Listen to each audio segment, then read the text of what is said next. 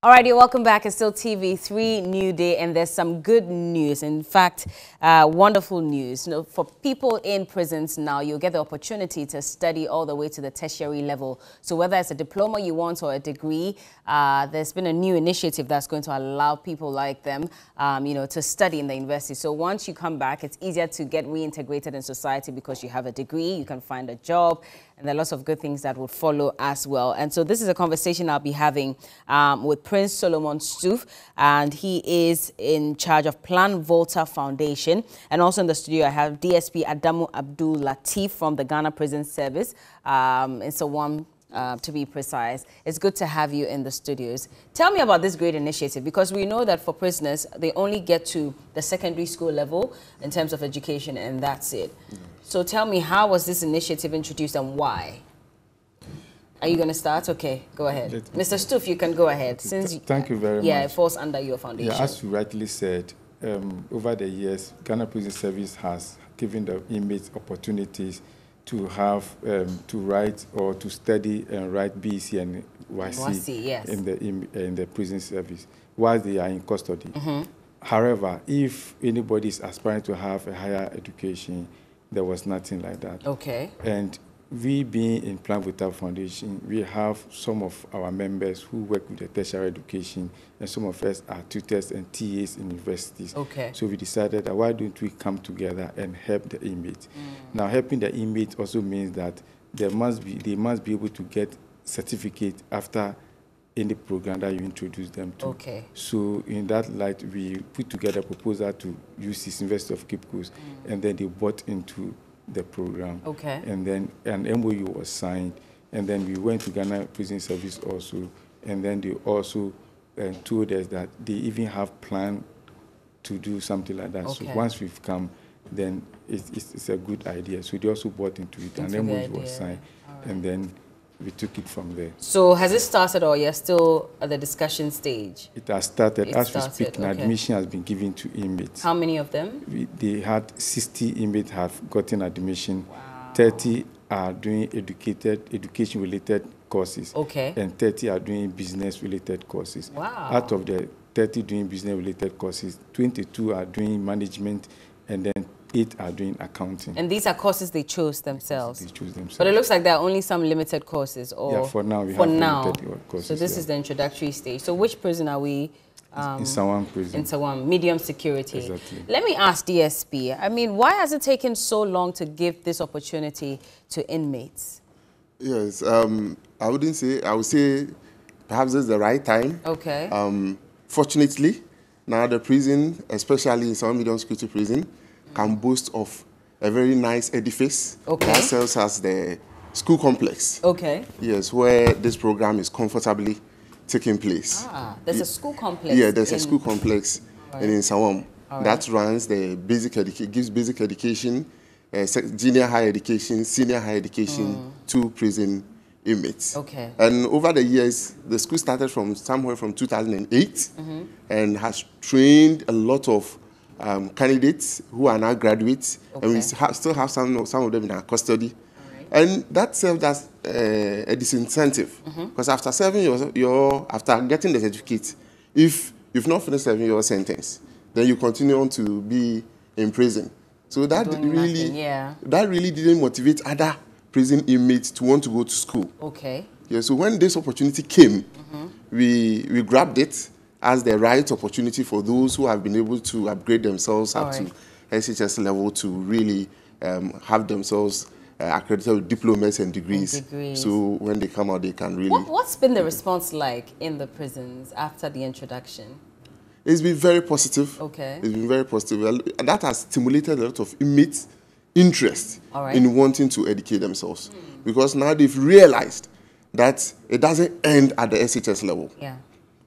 All right. Yes, and so if they are able to go through and get good grades at the SHS level, there's this opportunity for them. I have I have this question to ask because when it comes to reintegration, especially yeah. for you know inmates, um, it's difficult, especially because you you come out with that tag that mm -hmm. you're an ex-convict, yes. and so even to secure a job becomes a problem. Mm -hmm. So they're getting the degrees, they're getting all the diplomas and stuff. Mm -hmm. But what what are we doing outside the prisons to ensure that people like these are not tagged? So that even if I have the qualification, I mean, now they're asking for experience. Yes. I only have the qualification in the prison and I'm mm-hmm. coming out with no experience. What's the guarantee that I'll even find a job in the first place?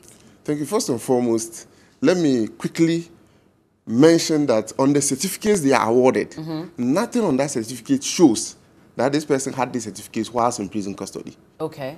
Right from the junior high certificate up to senior, senior high. up to the, even the diplomas and the degrees that they are pursuing now. Okay. Yeah, so that to some extent deals with the problem of stigma. Mm.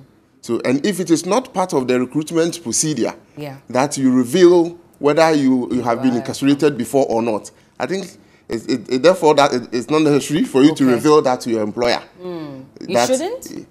Yes, if the employer doesn't request for it. Okay. I believe you understand. Yes. Yes. And that also, because now most prison inmates, the fact is that they are reforming. Mm-hmm.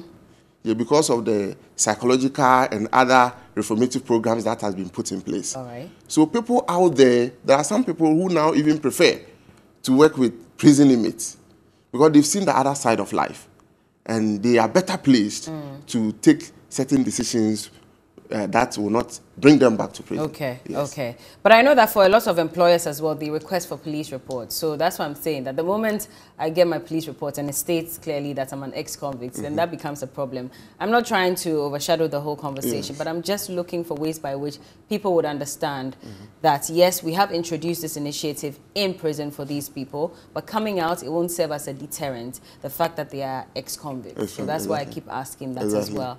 But okay, so you're telling me that you started with one of the prisons. Is it for both males and females, or are we starting with just males for The now? opportunity was given to all. All. Yeah, okay. we did okay. not discriminate. So All right. those who um, filled the form came up to fill the form were given. And if you if you meet the requirement, you are Mm. given the admission. Okay. So how easy or difficult is it funding? Because clearly they are not paying for the tuition. So who is paying for it?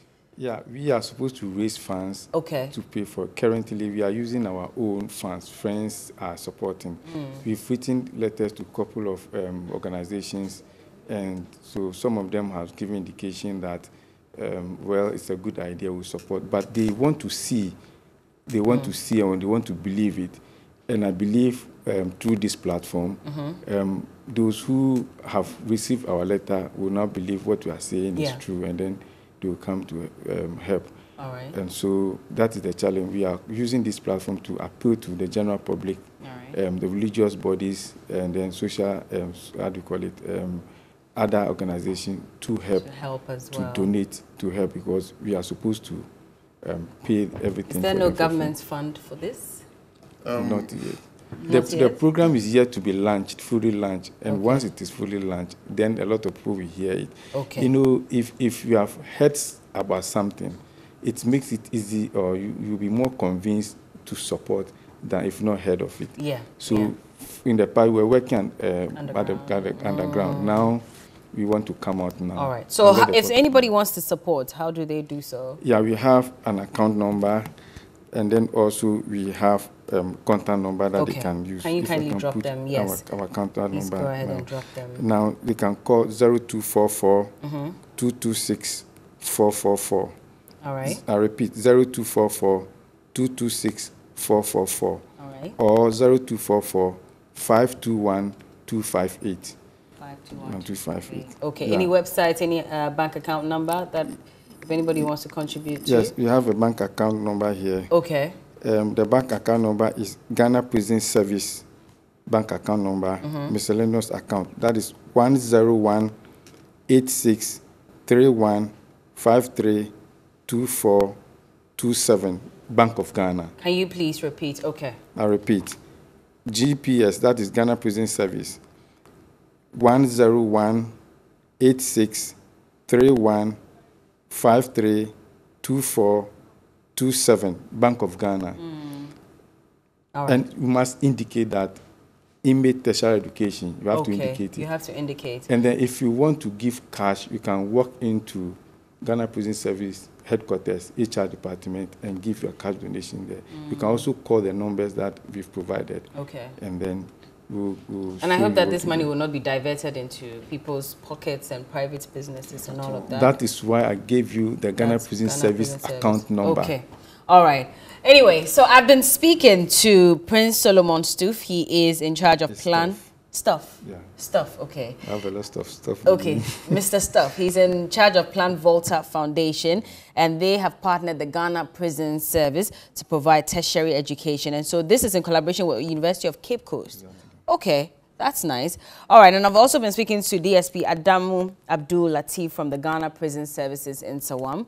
Thank you all so much. I think it's a wonderful initiative, and I'm looking forward to having all prisoners across the country uh, get educated to the tertiary level. Who knows? Maybe we'll even introduce the masters and the Yes, PhDs for people who might stay in longer, at least to keep them active and keep them you, their brains also uh, active as well. So thank you so much for joining me on the show. You're welcome. All right.